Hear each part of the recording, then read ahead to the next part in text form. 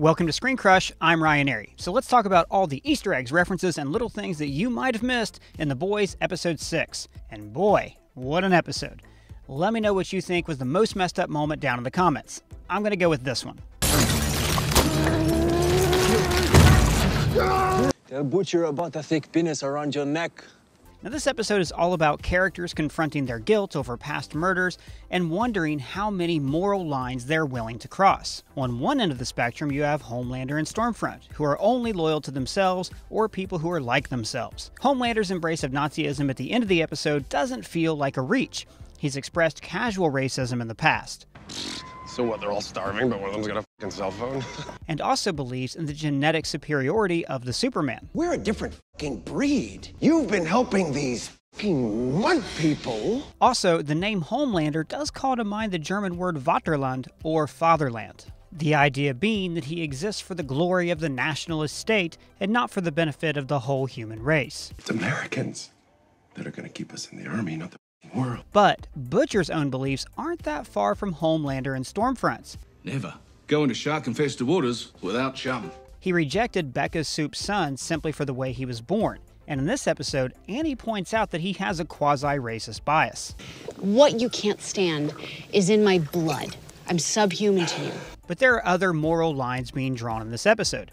Lamplighter has basically resigned himself to killing innocents after accidentally murdering Mallory's grandkids. Maeve tries to defend her actions to Elena, and Frenchie is racked with guilt over allowing Mallory's grandkids to die. What makes you think I want to be let off the hook? Annie, in particular, has fallen into a moral gray area. When the show began, she genuinely wanted to do good. I mean, why would you get into this business if not to save the world? But now, when she accidentally kills a man on the road, she blames him. You know what I was thinking when I was looking at him? Why'd you pull the gun, you stupid On the other hand, Lamplighter is constantly consumed with guilt. You'd be doing me a favor. Do it. This episode also has a few symmetrical storylines, like hospitals. Butcher and Annie are trying to get into one, while everyone else is trying to break out of one. Similarly, A Train and the Deep are using the church to cover up their secrets. For a man in seven figure debt, a heart condition, and in heavy withdrawal, do you really think you have the luxury to get up and leave? While Maeve is conspiring to reveal her secrets. And also, there's the symmetry of hitchhiking. The good guys can't get a ride without killing, but Cindy gets a ride non-violently. So, let's break this episode down. The title is The Bloody Doors Off, named after the final arc from the comics.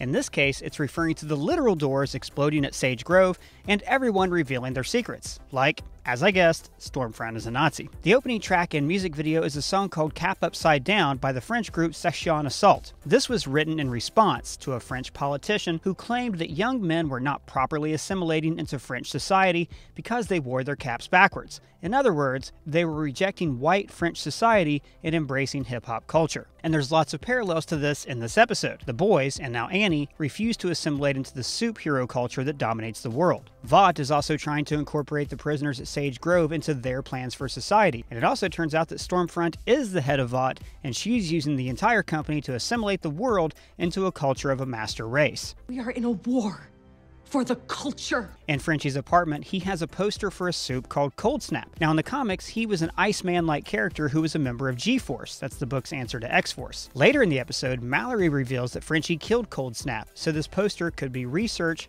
or a kind of trophy. Also, Shawn Ashmore, who plays Lamplighter, also played Iceman in the X Men movies, and he's really good in this too. I didn't know!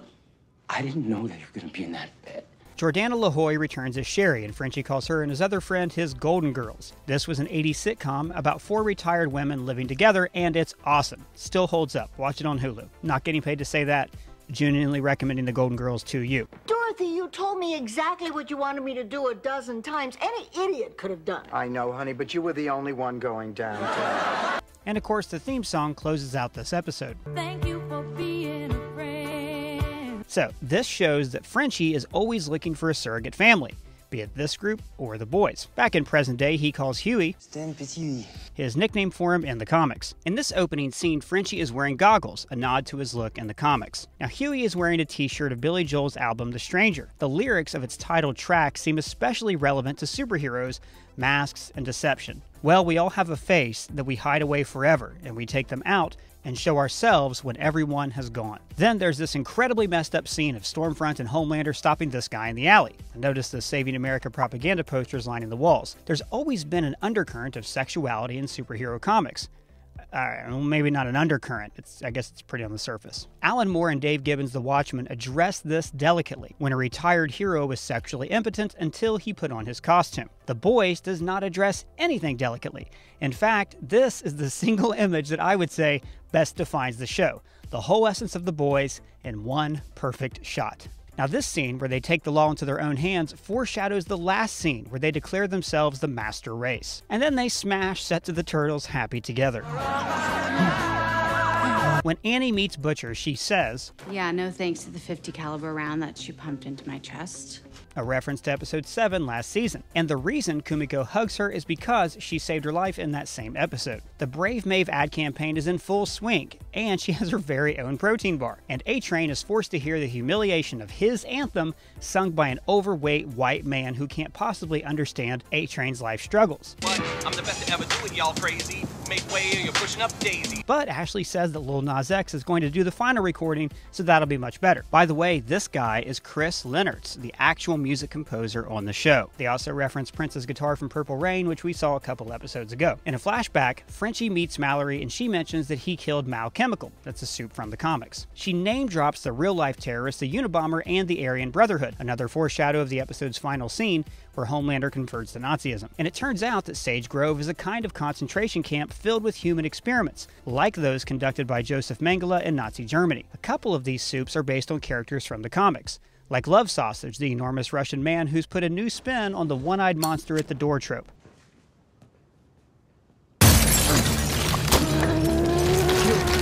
And this is Discharge, a member of G-Wiz from the comics. And by the way, Cindy sure does seem like she's inspired by Eleven from Stranger Things, right?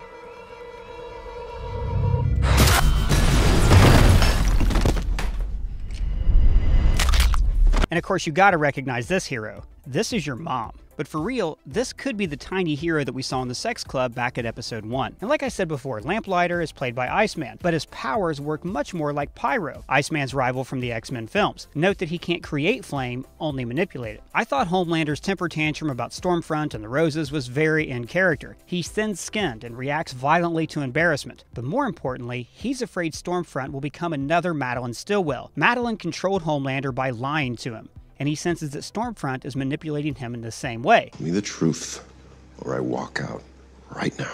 After all, he's been manipulated by people since he was a baby, and he's sick of it. Then we have the demon A Train eating with Alistair Adana, head of the Church of the Collective. Now, the music here is Sail Away by Enya.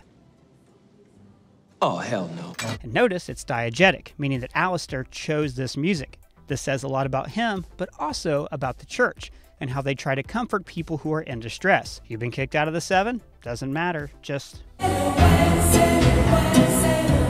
He name drops. Did you catch Malala Yousafzai's tweet? Called you a sweetheart. now, this is a Pakistani human rights activist and Nobel Peace Prize winner. It's weird that the show implied that her social media was for sale because she's a universally respected person in real life. But in this universe, maybe she's a member of the church? A Train mentions. I've seen that documentary about you guys. Now, this could be a reference to the numerous Scientology documentaries like Going Clear. Speaking of Scientology, notice there are two paintings on the wall.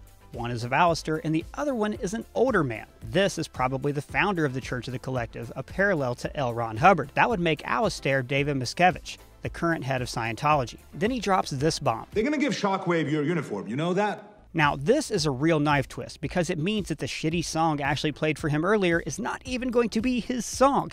It's being written for Shockwave. And of course, this happens in the comics all the time, with different characters taking on the mantle of the Flash or other heroes. And then we go from the church juicing people with Fresca to Vought juicing people with Compound V. In the comics, Compound V is also unstable. It's very difficult and expensive to create a supe as powerful as Homelander, while most heroes end up with kind of low grade powers. Now, I'm wondering if this season will end with the boys taking a stabilized Compound V and getting powers of their own. In the comics, this is how they're able to kill so many supes. They also have superpowers. Then again, the reason this show works is because they're the underdogs, constantly having to outsmart Vought instead of fighting them face to face. Would you like to see Butcher and the rest get powers? Let me know down in the comments. Now notice Lamplighter's torch is different from the comics. It's more in the shape of Green Lantern's power battery, since he was the inspiration for the character in the books. Frenchie follows him to a movie premiere called Light and Shadow, Journey into Night. Now Light and Shadow aren't characters from the comics, but this seems like a spin on the Marvel heroes Cloak and Dagger, who also had their own TV show on Freeform. Now this whole exchange is pretty much what happens in the comics, where the boys attempt to blackmail Homelander, but then Lamplighter goes off and intentionally murders two children in a bathtub. I like the change they've made for the show.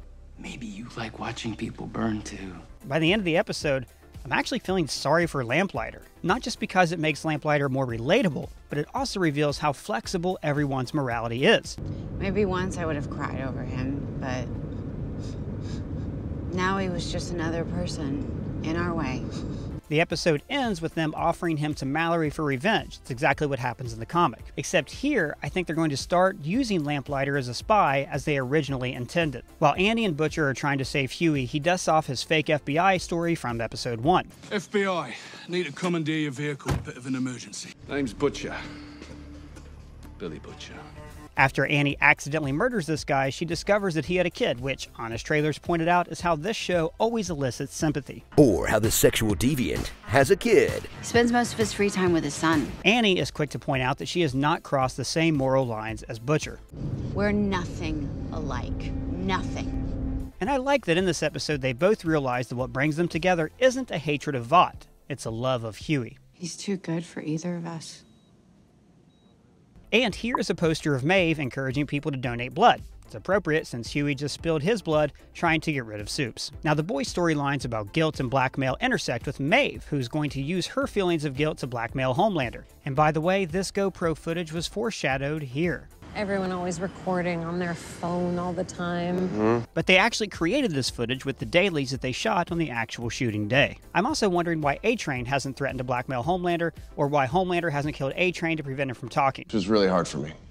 Okay? It's nothing personal. Uh, we'll always be friends, and uh, etc. It's like they're not even addressing that A Train helped create the super terrorists. But the biggest holy shit moment of the episode was the revelation that Stormfront wasn't just a Nazi, she was one of the Nazis. Notice that in her trunk she has her original Liberty costume. And this is a great performance moment from Aya Cash. Notice how she lets an accent slip through on the word Berlin. I was born in 1919 in Berlin. If Homelander has always been a casual racist, What people? then Stormfront is doing what the racists call saying the quiet part out loud. Fucking bastard.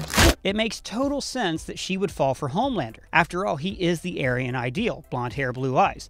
And, like all members of the Aryan Brotherhood, he's also stupid and easy to manipulate. And she reveals that she's Frederick Vought's wife, making her the secret owner of the company, and her actual goal is The other races are grinding us down and taking what is rightfully ours, but we can fight back. With an army of supermen, millions strong. Superheroes have always had an uncomfortable association with the idea of the Aryan Superman. After all, superheroes became popular just as this idea was spreading throughout Europe. But the boys brilliantly forwards the idea that once you give an individual or group too much power, like Supes, they immediately begin to assume that others are inferior. What people? Then they use their superiority for creating justifications for acting above the law. But he'll probably just be released tomorrow. But this train of thought's logical destination is domination of the weak over the strong. Because that is Vought's true destiny. You are everything that we dreamed of. In countries overcome by fascism, the masses cheer for the pageantry, the flags, the armies. They cheer for the strongman. I'll myself. In the world of the boys, they cheer for the superheroes. You fucking cocksuckers. Well, that's all the Easter eggs that I found, but if you found any more, let me know in the comments below or at me on Twitter. And if it's your first time here, please subscribe. For ScreenCrush, I'm Ryan Arey.